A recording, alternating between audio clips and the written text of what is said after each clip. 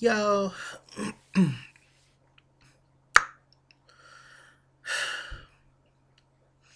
I have never been so underwhelmed with a show. I don't even know. Does that go together? I think so. Yo, first of all, this is my third time recording this video because it's been cutting off. And then I realized that um my computer um had to install some updates. That's why I was acting up. So this is my third take on this damn review. I wasn't gonna do this review, y'all, but um because only because it was just so damn dry and boring. I was just like, I can't with the world right now, darling. I was just like, what the hell is this? Like this whole format, Mona in her wigs and her bags and her um sandals, like she tried it, like with this whole format. I understand you hired a bunch of um hood rats who don't know how to act, but you knew what you was getting, girl. Like you can dress them up, you can make them all look pretty. It means nothing, girl. You can't take an old nasty lion from um from the damn Africa or a lion from from the zoo and and you know put it in your basement and think it's just gonna sit there and be cute and you know act right like it's wild child. So it's just like you you know what you were getting and for like this for her i guess i'm assuming it was all her decision but i could be wrong but whatever. For her to just have this kind of um individual interviews with people that's so boring. When when past seasons ago when you've had um joseline and stevie destroy whole sets like you didn't think that that was cool? Like did, how did you think did you think that was an appropriate thing to do so you just did a totally 180 from that like come on now you know we get on these reality shows we get there's a group of people sitting on the couch on the stage, somebody else sitting on the other side of the stage on the couch. Um, and then they rotate, and there's the people sitting down in front row the cast. You know how we do. Like, so this whole format thing is just crazy to me. And it's it's just foolishness that can't nobody like sit beside each other that is that much like hate and is that like real or whatever. Uh, I would just I, I would get my check and go. I went and and it's crazy like half the time when they do these shows, like when they do the the reunion for these shows, they be done stop filming like five and six months ago. So are you still mad after six months? And most of the time it's something petty. So you still mad after half a damn year or almost a whole year. And you ain't even seen this person, so you still mad. Oh, I can't wait till I see them. I'm gonna pop them. Why? It have been six or seven months, so you've been pissed off going to sleep with a headache every day until you see them again. Child cheese. Foolishness. But anyway, okay, let me see what I damn remember. If you can gaze into the future, you might think life would be a breeze. I miss that so Raven. That was back when everybody liked Raven. Now I wish she would just stop talking. My God. Okay, but anyway, back to the show. Um, what happened, y'all? Who did they start off with? They started off with um Tammy and um Bambi, Tammy and the deer. Um, they were sitting down talking to Nina. Nina asked about Waka. She says that she's back. Um, she's she's not with Waka. Her and Waka don't stay together. You know, sometimes it's women's. You have to take breaks and this and that. I guess um, after you know being cheated on about 34 times i guess it's time for a break um, tammy um, and she says that a lot of the stuff that they hear that we see in the blogs ain't necessarily true and this and that you know yeah yeah yeah um Bambi was just there for more support. She say her and Deb is still cool, you know, ain't nothing changed between her and Deb, which is good. Um but you know, as we all know, her and Waka is back together. So yeah. I don't even know why Tammy got dressed up.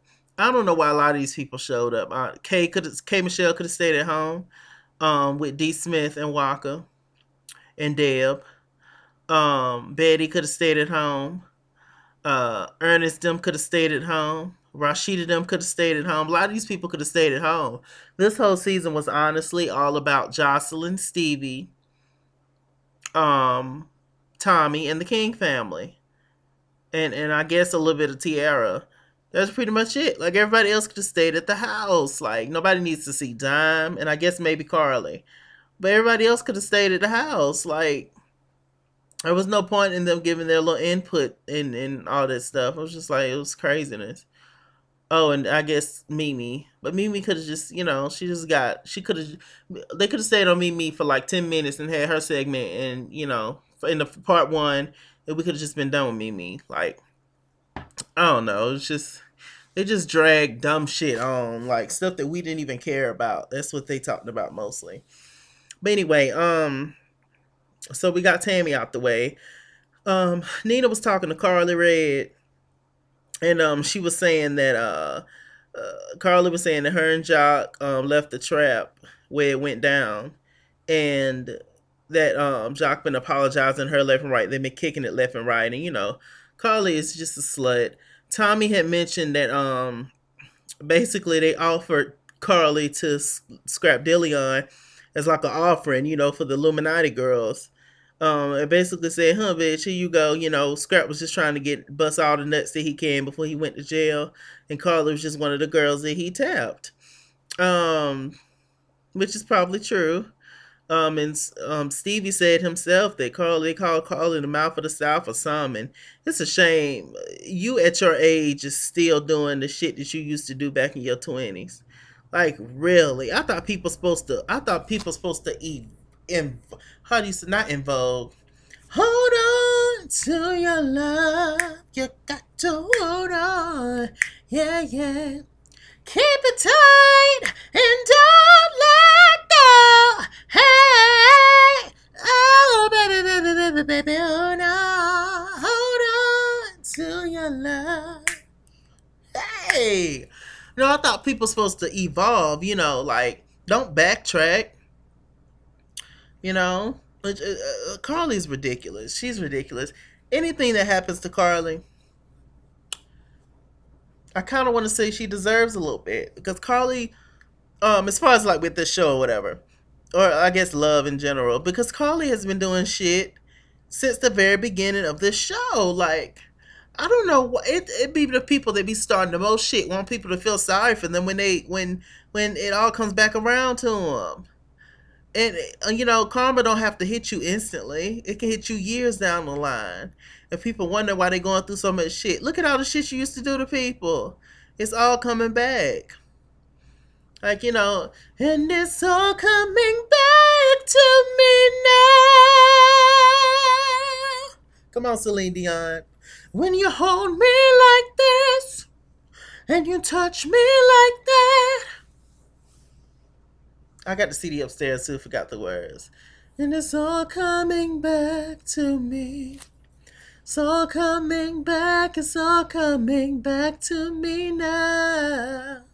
I love Celine. Um, also, um, yesterday was um Whitney Houston's birthday.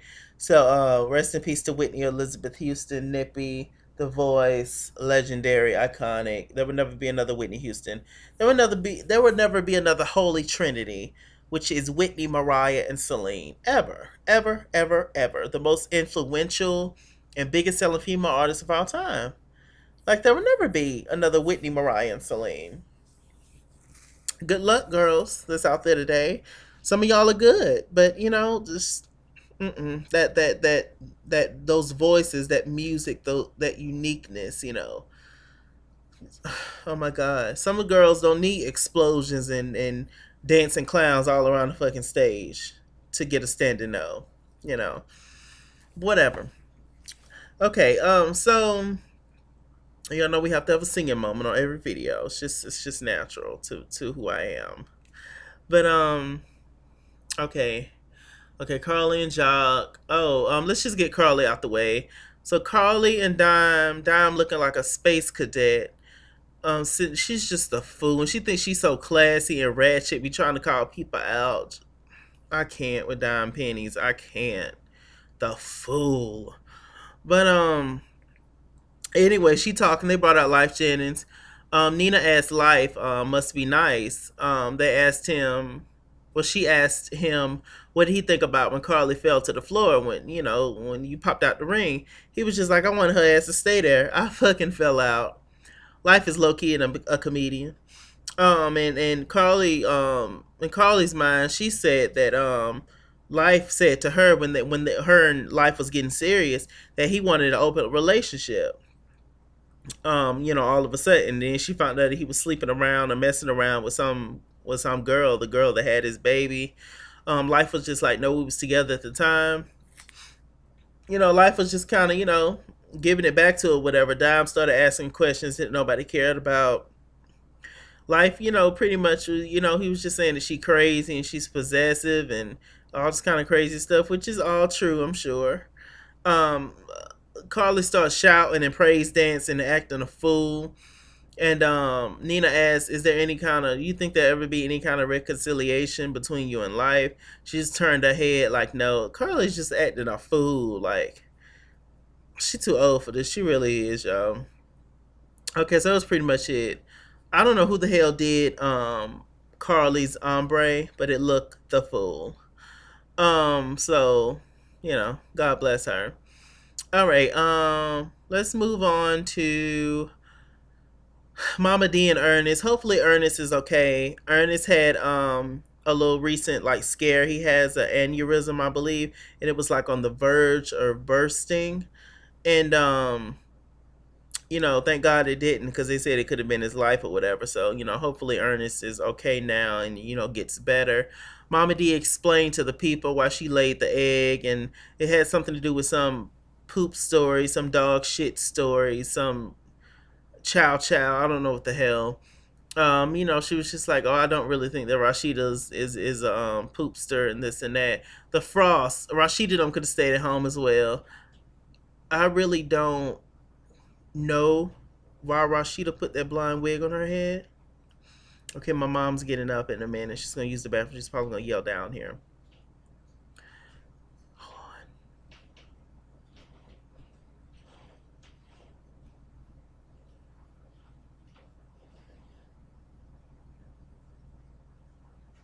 Okay.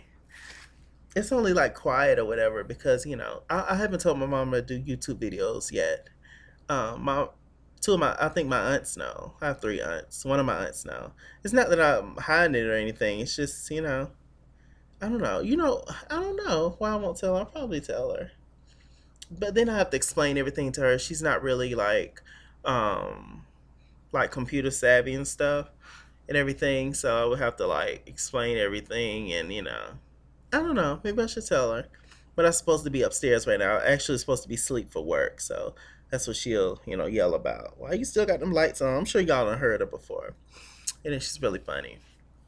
But um, okay, um, what else happened? What the hell was I talking about? I always get distracted. Uh, Rasheeda them, yeah. The frost, they could have stayed at home. Um, what the hell did Rasheeda have on her head? Why did she choose that blonde wig?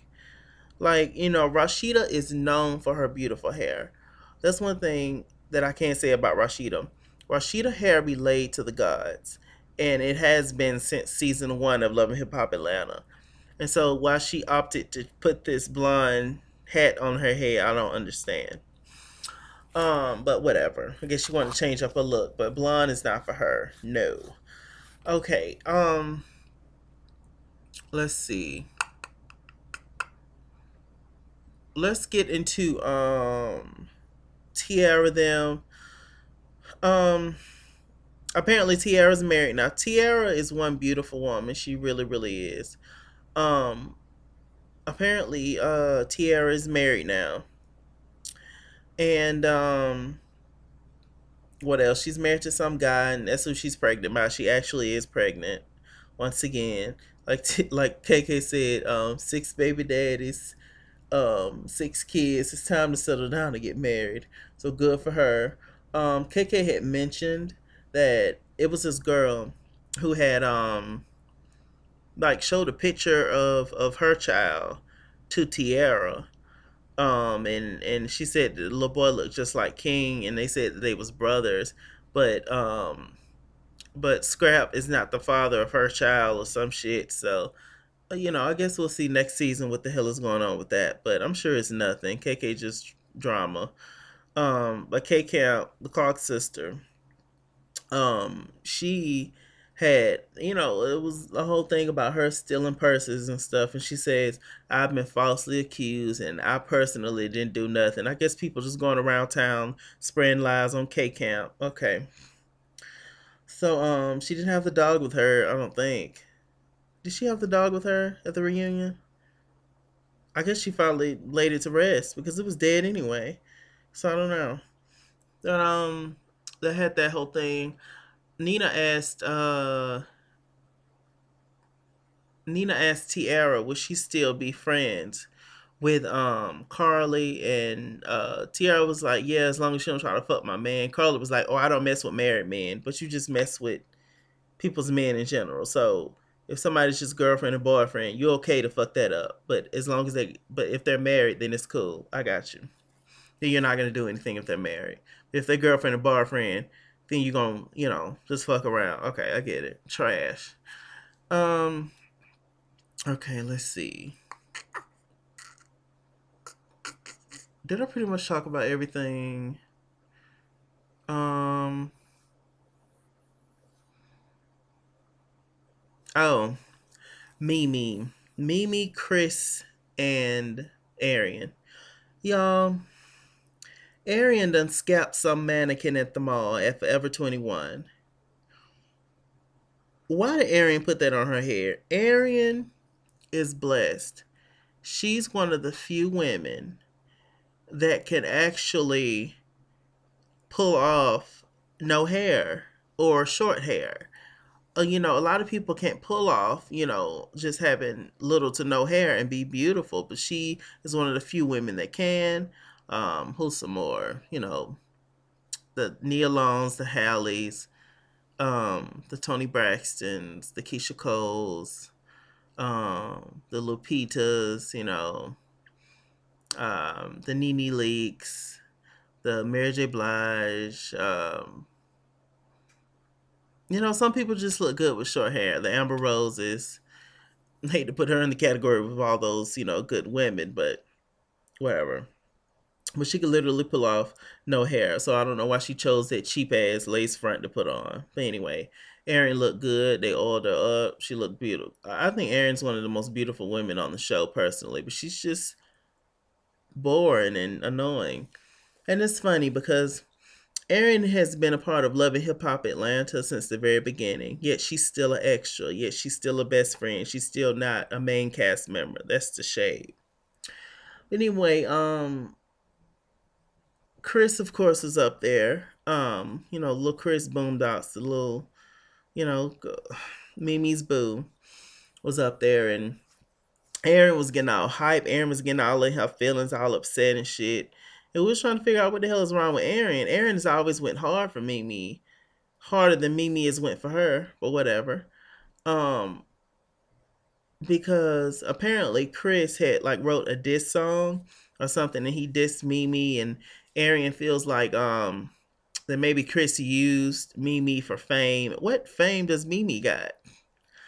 Um and uh Ariane didn't appreciate the way she treated her friend and and you know, Ariane has some crazy things to say about the LGBT community when she is a lesbian herself. So I don't quite get it. And one thing that was funny was that Ariane was like, "Oh, I've been telling y'all about Mimi that she is a lesbo. I've been telling y'all." So I'm sure Ariane and Mimi done, you know, bumped around or two, you know, been on the long road together. I'm sure, as we see that from the very beginning, we saw that or have been saying that from the very beginning. Us, you know, vloggers or whatever, or people who watch the show in detail. Um, okay, that was pretty much it. It was about the fight. Chris was like, "I got somebody for you," and this and that. I actually like Chris. I didn't like the way Mimi did Chris on the show, but you know, us all gonna come back to her ass too. Mimi looked great though. Mimi looked really, really good. Um, is there anything else I want to talk about? uh Stevie and Joseline. Stevie came in there. He was upset. He was just like, "What the hell you want me to do? I'm gonna do the vegetation rights." And Joseline, then the, the baby would never have your last name. Um, Stevie honestly, Stevie was pretty nice to Joseline. He asked for an apology. She wouldn't give him one. She was like, "You apologize. You said I was with you for six years. You're supposed to apologize to your wife. You did not do." Um, and Stevie was just like, "Oh, fuck you," and you know this and that. The producers went in there to get Stevie. They came back in, and Stevie was just like, "Look, I apologize," and then Joseline apologized, but according to Stevie and Joseline, nothing has changed. Stevie was just like, she he's officially done with Joseline. She's free and, you know, if the baby is his, then let the courts decide. And, you know, like I'm sure with the other one, Stevie. Um, and there you go. I actually do think Joseline's pregnant, like for real, for real. I think so. Um, was that it? You know, Joseline's trash, and you know, it's pretty much it. Uh, but Joseline's done though. Without Stevie, sweetie, you don't have anything. I'm sorry to say that. You really don't. Um, he gave you life, basically and he might have treated you wrong and did all this and disrespected you and this and that, but he gave you um something that you probably wouldn't have had before, and that's just the truth.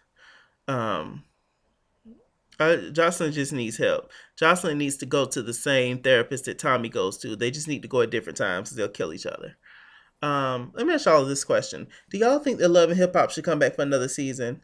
And if so, what do y'all want to see change about Love and Hip Hop Atlanta specifically?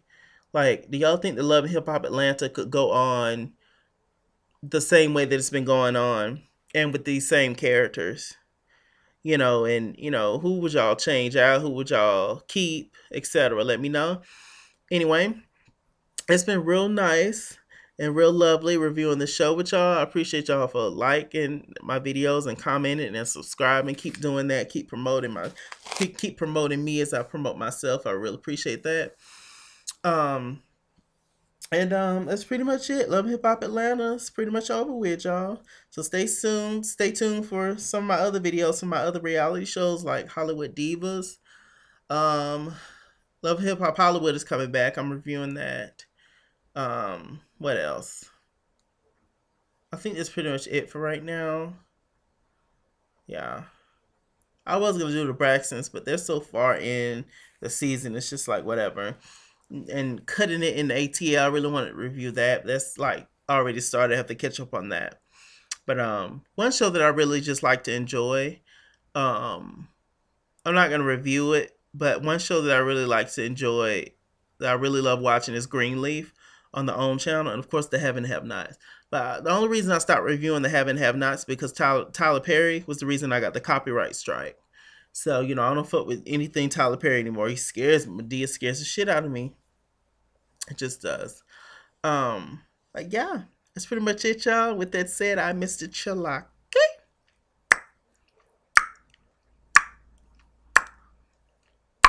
Mouth is so dry lately. I need something in it. Mr. Sherlock on Google Plus. Follow me at Is King's World on Twitter. Um, all that good stuff. Chase King was here on Facebook. At Is King's World on Instagram. At Is King's World 89 on Snapchat. All right. Like, comment, subscribe, and I'll see y'all later for something. All right. Bye.